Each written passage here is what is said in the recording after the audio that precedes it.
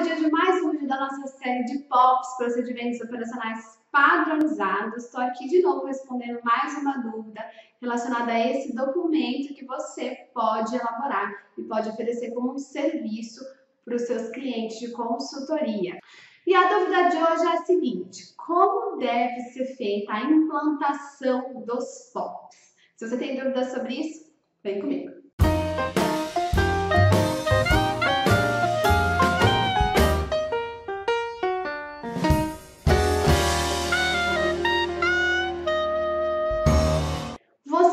Profissional da área de alimentos que já elaborou um POP, você sabe que só a elaboração desse documento não é o suficiente para a gente ter, então, a padronização das operações, que é o objetivo desse documento.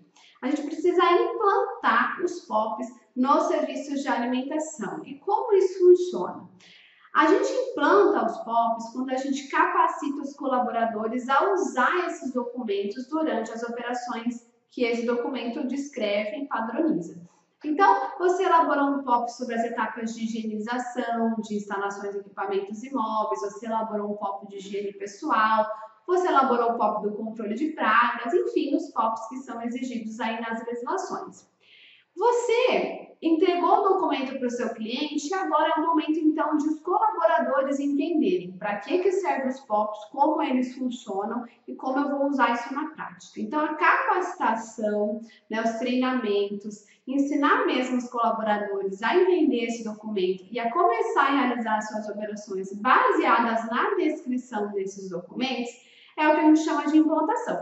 Não é um processo tão rápido como a gente imagina, né? Vai depender muito da capacidade de aprendizado, da dedicação de cada colaborador em relação a cada tarefa que cada um né, deve executar. Lembrando que os focos são direcionados a determinados manipuladores de acordo com as funções que eles executam no dia a dia.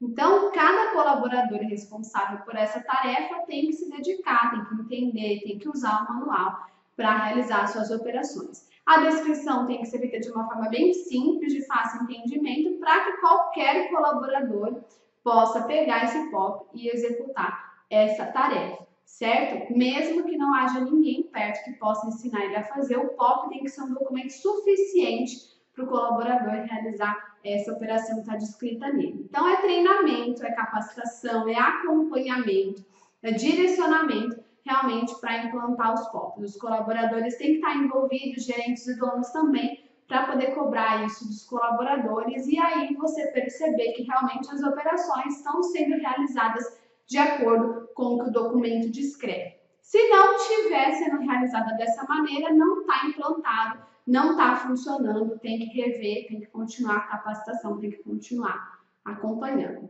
Certo? Eu espero ter te ajudado e não se esqueça, se inscreva no nosso canal dê o seu joinha, clica lá no sininho para você ativar as nossas notificações. Se você tem dúvidas sobre o POP, quer que eu te responda, deixa sua dúvida aqui embaixo e eu te espero no nosso próximo vídeo. Até lá!